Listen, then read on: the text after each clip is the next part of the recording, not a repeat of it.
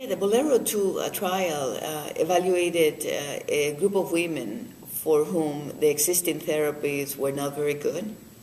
So these were women who had already been exposed to aromatase inhibitors who developed tumor progression. So they were randomized to a different type of aromatase inhibitor alone, which was the standard of care, versus the same aromatase inhibitor but with the addition of a targeted drug that is called everolimus.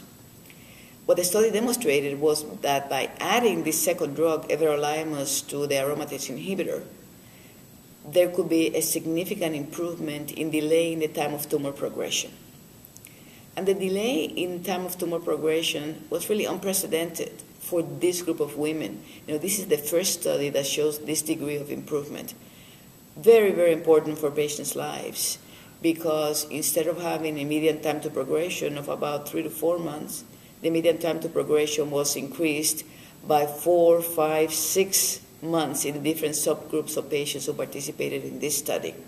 So, in terms of clinical efficacy, this study demonstrates that, again, for patients with refractory estrogen receptor positive metastatic breast cancer.